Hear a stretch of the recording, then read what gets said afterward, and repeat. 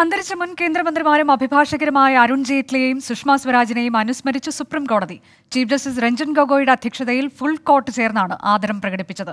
രാജ്യത്തിന്റെ സമ്പദ് വ്യവസ്ഥയെ പുരോഗതിയിലേക്ക് നയിച്ചവരിൽ അഗ്രഗണ്യനാണ് Arun ജെയ്റ്റ്ലിയെന്ന് attorney general K K Venugopal പറഞ്ഞു. പൊതുപ്രവർത്തകർക്ക് മാതൃകയായ വ്യക്തിത്വമാണ് സുഷമ സ്വരാജിന്റേതെന്നും വേണുഗോപാൽ അനുസ്മരിച്ചു.